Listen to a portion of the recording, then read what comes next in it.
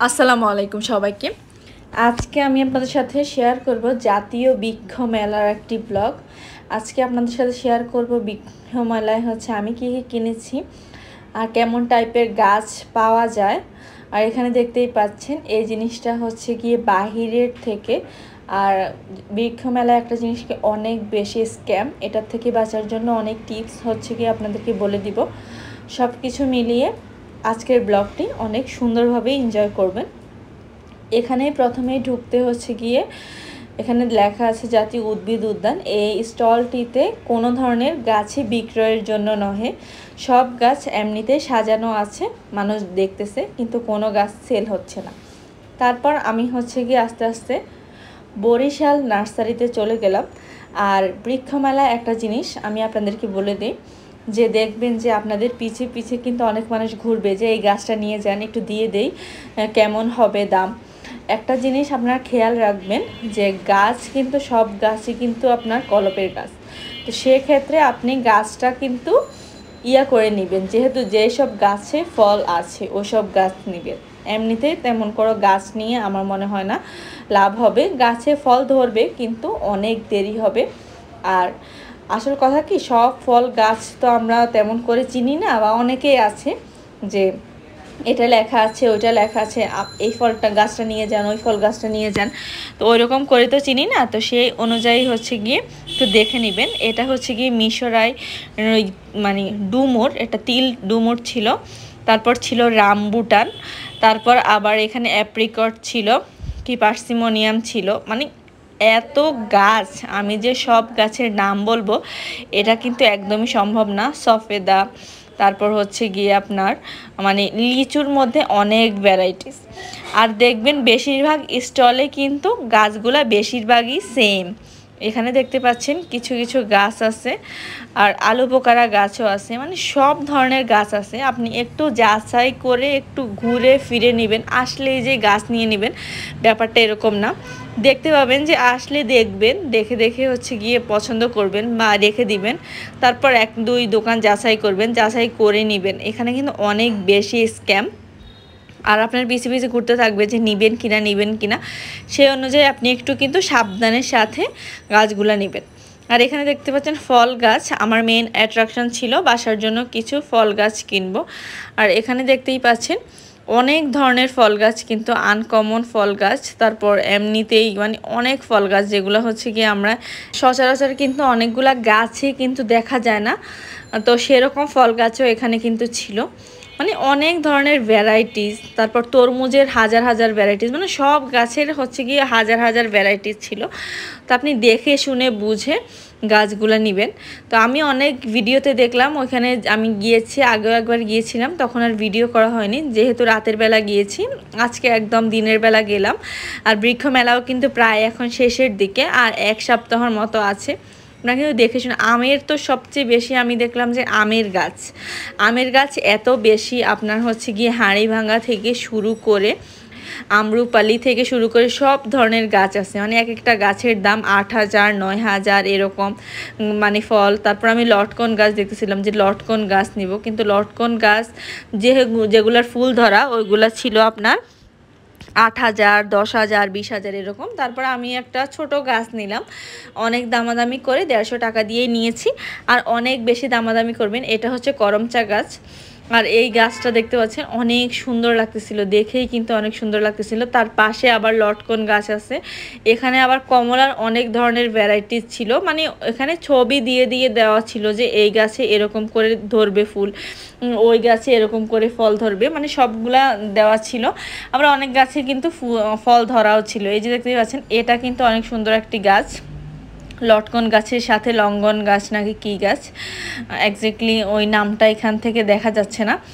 আর এখানে আবার ইনডোর প্ল্যান্টের কিন্তু ভ্যারাইটিস ছিল। ইনডোর প্ল্যান্ট আপনার ধরাই যাচ্ছে না। মানে ইনডোর প্ল্যান্টের তো এমনিতেও অনেক দাম। কিন্তু এখানে ধরতে গেলে আটশো, নয়শো, এক হাজার। আর এখানে আম গাছের দেখেন, আম গাছের এত ভ্যারাইটি এত লিচু, জাম, রামবুটান, পার্সিমন তারপর হচ্ছে কি মানে আপনি দেখে ইয়া করবেন না। এরকম গাছ সব দিকে এত এত গাছ। মানে গাছ কিন্তু আপনি ঘুরেও দেখতে পারেন, এই গাছগুলো ছিল রামবুটান, আর আবার আলু গাছ ছিল, এই যে এই গাছটা আবার আলু এখানে হচ্ছে কি ইউনিক ছিল এখানে। এটাও আবার আলু বোকারা গাছ ছিল। লটকন, আবার কি লোকাট গাছ মানে ফলের গাছ মনে হয় আপনার আখ থেকে শুরু করে সব ধরনের ফলের গাছ আছে। আপনার পেয়ারার মধ্যে ভ্যারাইটিস আছে মনে হয় দশ থেকে বারোটা। তারপর আবার হচ্ছে গিয়ে লিচুর মধ্যে অনেকগুলো আছে। তারপর মানে সব ধরনের গাছ, ফুল গাছের অনেক বেশি দেখলাম। ফুল গাছ অ্যাভেলেবেল দেখলাম যে নার্সারিতে আমরা ফুল গাছ যেগুলো পাই বা বাহিরে ফুল গাছ যেগুলো পাই, ওই ফুল গাছগুলো কিন্তু অনেক বেশি অ্যাভেলেবেল ছিল। ওই ফুল গাছগুলো আর দেখলাম না। এখানে লটকন গাছ দেখলাম, কিন্তু লটকন গাছের মধ্যে মনে হচ্ছিল লটকন গাছটা মরে যাচ্ছে এরকম।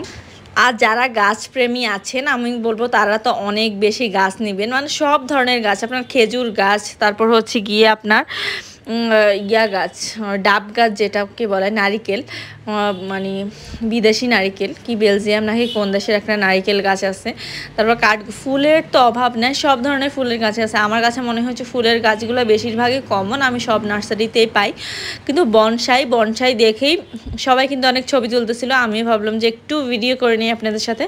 এই গাছগুলো ছিল দুই লাখ, ছয় লাখ, দশ লাখ, এরকম করে।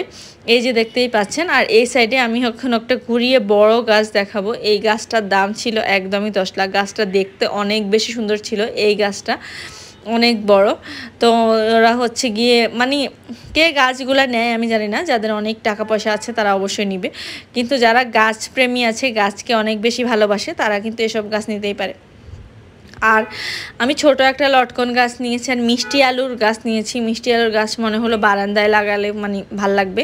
বা একটু ট্রাই করতেছিলাম, অনেকদিন থেকে মিষ্টি আলুর গাছটা পাচ্ছিলাম না।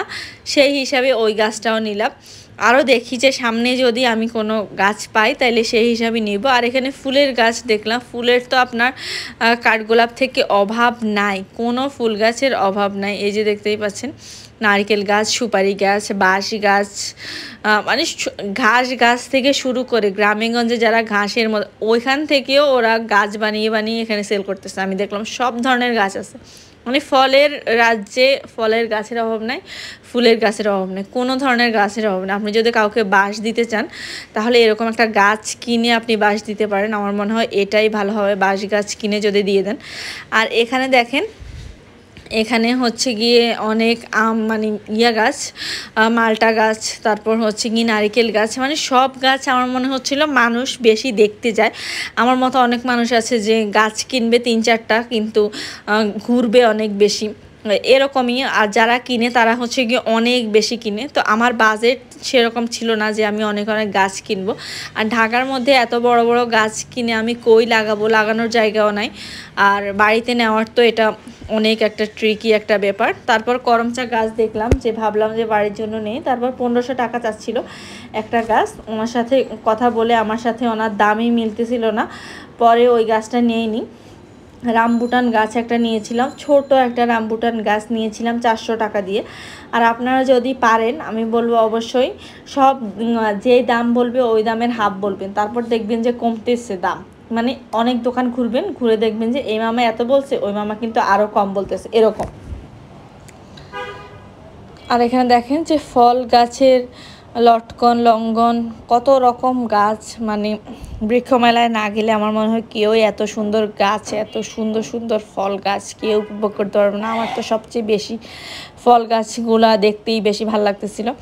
আর বৃক্ষ মেলাতে আমার মনে হয় যারা বেশিরভাগ যায় ইনডোর প্ল্যান্টার ফল গাছ আর ফুল গাছ তো সবগুলাই আমরা হচ্ছে কি অ্যাভেলেবেলই সব জায়গায় পাই। তো ফুল গাছের দিকে না কিনে, ফল গাছ কিনে বা অন্য অন্য গাছ কিনেও লাগাতে পারেন। আমি আজকে ফুল ঘুরিনি, এই যে দেখতেই পাচ্ছেন, এখানে হচ্ছে গিয়ে একটা ছিল কি রামবুটান ইতালিয়ান, তারপর লিচুর হাজার হাজার জাত মানে এত ফল গাছ আমি যে দেখে আসলাম, সব ভয়েস ওভার দিতে গিয়ে আমি সব ফল গাছের নাম ভুলে গিয়েছি। এরকম একটা লকাট গাছ, তারপর কি বলব? মানে সব গাছের নামে ভুলে গেছি। একে, এটা হচ্ছে সফেদা গাছ ছিল। এটা আমি বারবার দেখাচ্ছিলাম যে এটা সফেদা, এটা কেমন সফেদা? যে আপনার হচ্ছে গিয়ে শক্ত শক্ত হয়ে থাকে। উনি বলল, কিউই লেখা ছিল ইয়েতে। উনি বলল, সফেদা। এখন আমি জানি না আসলে এটা কি মানে ইয়েতে লেখা ছিল কিউই গ্যাস তো একটু আনকমন লাগছিল। উনি বলল যে এটা কি? আমি বললাম, লেখা আছে কিউই। আপনি বলতেছেন সফেদা। বলতেছে, এটাই সফেদা। কিন্তু কিউই কেন লিখে রাখছে, উনি হচ্ছে গিয়ে জানে না। তো এরকম করে অনেক অনেক স্ক্যাম পাবেন। তো সব কিছু একটু দেখে শুনে বুঝে নেবেন। আর আজকের মতো আমার ভিডিওটা এ পর্যন্তই।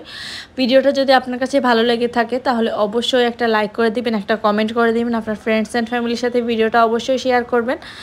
আর যদি ফুল ভিডিও কেউ দেখে থাকেন, তাহলে যারাই ফুল ভিডিও দেখছেন, তারাই সাবস্ক্রাইব করতে একদমই ভুলবেন না। নতুন নতুন ভিডিও পাওয়ার জন্য আমি অনেক ভ্যারাইটিস ধরনের ব্লগ বানাই। আমি নিত্য প্রয়োজনে কী কী করি, কেমন ধরনের শপিং ব্লগ পার্সোনাল ব্লগ সব ব্লগই হচ্ছে কি করে থাকি। তো আপনাদের যদি ভালো লাগে, তাহলে অবশ্যই আমার চ্যানেলের পাশে থাকতে পারেন। আর আজকের মতো এই পর্যন্তই। পরবর্তীতে কোনো মেলায় দেখা হবে বা কোনো শপিং ব্লগে আপনাদের সাথে দেখা হবে দেখা তো হবেই। আর আল্লাহ হাফেজ, ভালো থাকবেন, সুস্থ থাকবেন। পরবর্তী ভিডিও দেখার অপেক্ষায় রইলাম।